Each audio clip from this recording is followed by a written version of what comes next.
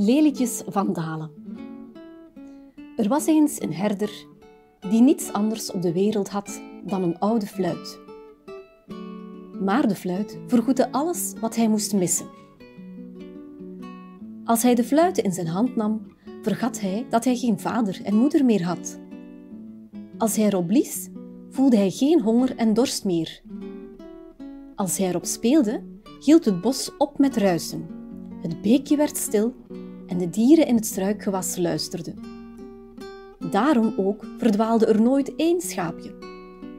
Als hij op zijn toverfluit blies, kwamen ze dadelijk terug, waar ze ook waren. De herder was in dienst van de keizer. Iedere morgen dreef hij de schapen van de keizer naar de weide. En iedere avond keerde hij terug. Met op zijn hoed een boeketje van bloemen die zelfs niet in de tuin van de keizer groeide. De dochter van de keizer merkte deze bloemen al spoedig op. Ze was zo mooi als de zon en de herder keek vaak stilletjes naar haar. Maar ook de prinses draaide zich vaak om naar de herder. Ze benijdde hem om het boeketje bloemen op zijn hoed. Op een dag sloop ze de herder stilletjes achterna. Ze vond hem in de schaduw van de bosrand, terwijl hij op zijn fluit speelde. Alles om hem luisterde ademloos toe. En ook de prinses bleef als aan de grond genageld staan. Maar de herder had haar al gezien. Hij stopte de fluit in zijn knapzak en maakte een diepe buiging voor de prinses. Wat wenst u, meesteres? De prinses zei bevelend: Ik wil net zulke bloemen, die jij elke dag op je hoed draagt. Waar groeien die bloemen? Diep in het bos, meesteres, antwoordde de herder. Als u wilt, pluk ik er net zoveel als u maar hebben wilt. Maar de prinses was daar niet tevreden mee. Ik wil ze zelf plukken. Breng me erheen. Het is heel ver, meesteres, stribbelde de herder tegen. Om daar te komen, moet u door allemaal doornstruiken. Maar de prinses beval: Breng me erheen. En toen ging de herder op weg. Hij bracht de prinses diep in het bos. De doornen rukten aan haar kleren en staken in haar handen en voeten, tot die tenslotte begonnen te bloeden. Maar ze wilde niet teruggaan. Zo kwam ze tenslotte op een open plek in het bos. Hier bloeiden duizenden bloemen, zoals de prinses van haar leven niet gezien had. Hier zongen de vogels zoals ze nog nooit gehoord had.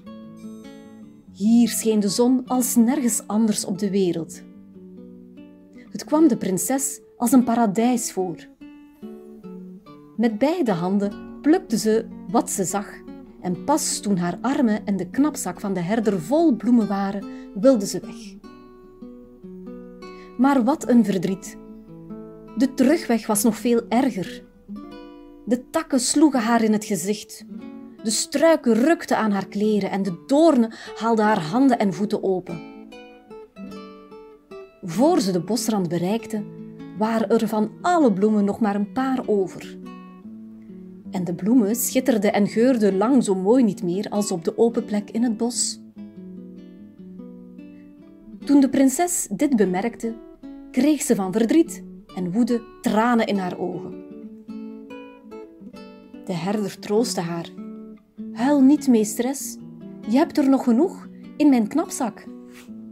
En hij pakte de bloemen uit zijn knapzak, maakte er een boeketje van en gaf ze aan de prinses. Maar ook daar was ze niet tevreden mee. Ze dacht dat de herder de mooiste bloemen voor zichzelf hield. Dat is niet alles. Waar heb jij de mooiste bloemen verstopt? Ik heb ze nergens verstopt, meesteres, verweerde de herder zich. Kijk zelf maar. En toen toonde de prinses zijn geopende krabzak. Er lag een stukje brood in en een zakmes en een fluit. De prinses pakte de fluit en zei: En wat is dit hier? Dat is mijn fluit, schrokte de herder en hij wilde hem pakken. Als je mij de bloemen niet wilt geven, dan pak ik je fluit af. En meteen was ze in het keizerlijk paleis verdwenen. Wat kon de arme herder doen? Hij bleef staan alsof iemand zijn ziel had afgenomen. En grote tranen biggelden over zijn wangen. Hij begreep dat hij nooit meer op zijn fluit kon spelen en dat hij daarom geen plezier meer in het leven zou hebben. Hij hield niet meer op met huilen en liep doelloos verder. Waar hij ook ging, overal vielen zijn tranen in het gras. En op al die plaatsen schoten kleine blauwe bloempjes omhoog. Dat waren de bloemen die we tegenwoordig lelietjes van Dalen noemen. Zo dwaalt de herder tot op de dag van vandaag door de bossen. Jullie kunnen hem zien als je s'morgens heel vroeg opstaat een bosje lelietjes van Dalen te plukken.